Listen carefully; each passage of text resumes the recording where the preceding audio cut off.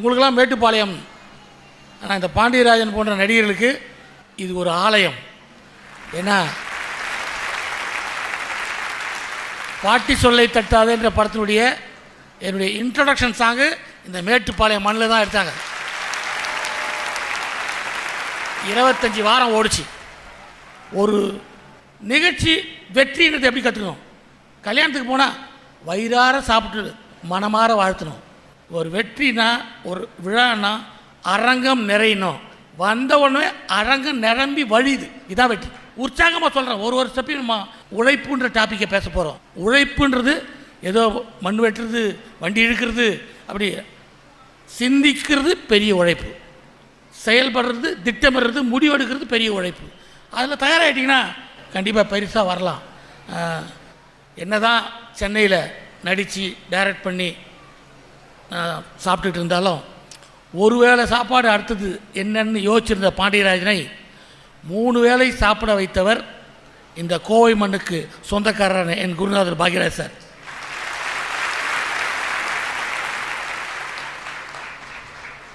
இந்த உழைப்பு திருநாள் இன்றைக்கி மே தினம். இதான் மே தினம் அன்றைக்கி லீவு. அப்படிலாம் இல்லைங்க. நம்மளால் எவ்வளோ நேரம் வேலை செய்ய முடியுது? ஒன் ஹவர் அதிகமான உடம்பு உழைப்பு களைப்பை கொடுக்குது. எட்டு மணி நேரன்ற ஒரு சிஸ்டம் வந்த தினம்தான் இந்த மே தினம். பதினாறு மணி நேரம் வேலை செஞ்சுருக்காங்க பதினாறு மணி நேரம் வேலை செஞ்ச பிறகும் வீட்டுக்கு அனுப்ப மாட்டானா? வர்றவன் கையை பார்ப்பாங்களாம்.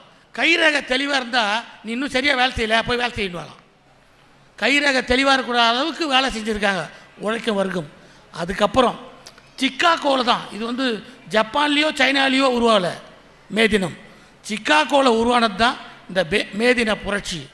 எட்டு மணி நேரம் உழைப்பு எட்டு மணி நேரம் உறக்கம் எட்டு மணி நேரம் என்டர்டெயின்மெண்ட் இப்படி பிரித்து இந்த மனித வாழ்க்கையை சந்தோஷப்படுத்தின ஒரு நாள் தான் மேதினம் எட்டு மணி நேரத்தை வேலை பார்க்கணும். அதுக்காக முடியாது. உடம்பு சொல் பேச்சு உற்சாகமாக இருக்க முடியாது. அப்புறம் பேய் வேலையாக இருக்கும்.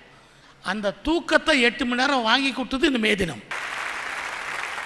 எங்கள் அப்பா பல்லவன் டிரான்ஸ்போர்ட் டிரைவர் அவர் கையில் கட்டியிருந்த வாட்சி தான் நான் ரொம்ப நல்லா கட்டியிருந்தேன். அந்த வாட்சி ஆட்டி பார்த்தா அது உள்ளே இருக்கிற மிஷின்லாம் அப்படி ஆடும். ஸ்டேரிங் பிடித்து பிடித்து ஆடி ஆடி உழைத்த அந்த தெய்வம் ஒரு க்ளோஸ்அப்பில் கூட என்னை பார்க்கல. ஒரு நாள் கூட ஒரு நல்ல சோறு நல்ல குழம்பு சாப்பிடாமையே போயிட்டார். உழைப்பு மட்டும்தான் அவர். ஆனால் அவர் கற்றுக் கொடுத்த அந்த உழைக்கணும்ன்ற எண்ணம் எப்படி நடந்துக்கணுன்ற எண்ணத்தை கடைப்பிடிச்சு தான் இன்றைக்கி இந்த பாண்டியராஜன். எங்கள் அப்பா உடம்பு சரியில்லாமல் படுத்திருக்காரு. எங்கள் வீட்டில் பெட்டில் படிக்க வைக்கிறதுக்கு எங்ககிட்ட பெட்டு கிடையாது. பக்கப்போர் கொண்டாந்து போட்டு மேலே கோணி பை போட்டு எங்கள் அப்பா படுக்க வச்சுருக்கேன். நான் ஒரு சீட்டு கம்பெனியில் வேலை செய்கிறேன் என் தங்கச்சி திடீர்னு ஓடியாச்சு அண்ணே அப்பாவுக்கு முடியலன்னு குடுகுன்னு வேகமாக ஓடுறேன். மூச்சு வாங்குது. எங்கள் அப்பா என்னை பார்த்தாரு? என்ன கண்ணு மூச்சு வாங்குது ஓடி வந்தியான்னு ஆமாப்பா என்ன பண்ணுறது உடம்புன்னு? ஒன்றும் இல்லை. நான் செத்த பிறகு நீ நல்லா வருப்பானார் பாப்பா கவனம் இருந்தேன் இன்றைக்கும் நான் நினைக்கிறேன். அந்த தெய்வத்தின் ஆசீர்வாதம் தான் என்னை உங்கள் முன்னாடி நிற்காச்சு உழைச்சிட்டே போயிட்டார். உழைப்பு மட்டும்தான். எதையும் பார்க்கல. நான் ஒன்றும் நினைப்பேன். எந்தெந்த சந்தோஷத்தில் பெறும்போதும் ஐயோ இதுக்கு நம்ம என்ன உழைச்சிக்குமா? நமக்காக நம்ம அப்பா அம்மா கஷ்டப்பட்டிருக்காங்க. அப்படி தான் நினச்சிடணும். ஒரு விஷயம் உங்களை விட நூறு மடங்கு கெட்டவன். உங்களை விட நூறு மடங்கு மனிதநேயம் இல்லாதவன். உங்களை விட நூறு மடங்கு அறிவாற்றல் இல்லாதவன். இந்த சமுதாயத்தால் இருநூறு மடங்கு புகழப்படுவான் போற்றப்படுவான். இது இந்த உலகம் தோன்றிய காலத்திலிருந்து நடக்கும் விபத்து. அந்த விபத்து நமக்கு வேணாம். கெட்டவனாக இருந்தால் நிறையா கொடுக்க வேணாயா நிறையா சம்பாதிக்கலாம். நிறையா புகழ் கெட்டவன்? அதுவும் நமக்கு ஆசைப்படுறோம். கொஞ்சமாக இருந்தாலும் இருந்தாலும் நம்ம நல்லவனாக இருக்கவே ஆசைப்படுறோம். அதான் நம்முடைய ப்ராக்டிஸ் எது? அன்னன்னைக்கு நம்மளை வந்து இவன்லாம் நல்லா இருக்கிறானே. இவெல்லாம் இப்படி சம்பாதிக்கிறானே. அப்படின்னு உள்ளே வந்துட்டு போவோம். அது வேணாம். நான் என்னுடைய பேமெண்ட் வாங்கினா எனக்கு எவ்வளோ கொடுத்தாங்க? எனக்கு செக்கு எவ்வளோ? அதில் கையெழுத்திருக்கா அதான் பார்ப்பேன். பக்கத்தில் இருக்கிறவங்களுக்கு யார் கொடுத்தாங்க? என்ன பேமெண்ட்டு பார்க்கவே மாட்டேன். அது கொஞ்சம் கம்மியாக இருந்தால் எனக்கு திமிர் வந்துடும் அது கொஞ்சம் ஜாஸ்தியாக இருந்தால் எனக்கு காழ்ப்புணர்ச்சி வந்துடும் எதுக்கு? நம்ம கொடுக்குற காசு நம்மளது. அவ்வளோதான் அந்த எண்ணம் வேணும். அவருக்கு என்ன இருக்குது இவருக்கு என்ன இருக்குது இவருக்கு படம் இப்படி ஓடுது? அவர் படம் வேணும். நம்மளையும் பார்த்துருக்காங்க. நம்மளையும் ரசிச்சிருக்காங்க. நம்மளையும் அமெரிக்கா வரையும் கூட்டு போயிருக்காங்க. அந்த எண்ணம் தான் வருமே தவிர அது இதுன்னு பார்க்கும்போது தான் இந்த சமுதாயம் நம்மளை கவனிக்கலை. இவனுக்கெல்லாம் என்னையா இருக்குது? இவன்லாம் பெரிய ஆளாயிட்டான்.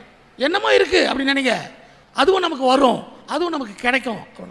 ஒரு புத்தகம் எழுதுறது ஒருத்தன் வாழ்வு இல்லை முக்கியம். ஒருத்தனுடைய வாழ்வு மு முழுமைன்னா அவனுக்கு ஒரு வாரிசு இருக்கணும். அவன் இருந்த இடம் இருக்கணுன்றா அதுக்கப்புறம் ஒரு புத்தகம் எழுதணும். புத்தகம் எழுதும் அளவுக்கு நீ வாழ வேண்டும். உன் அனுபவத்தெல்லாம் சேகரித்து நீ வாழணும்.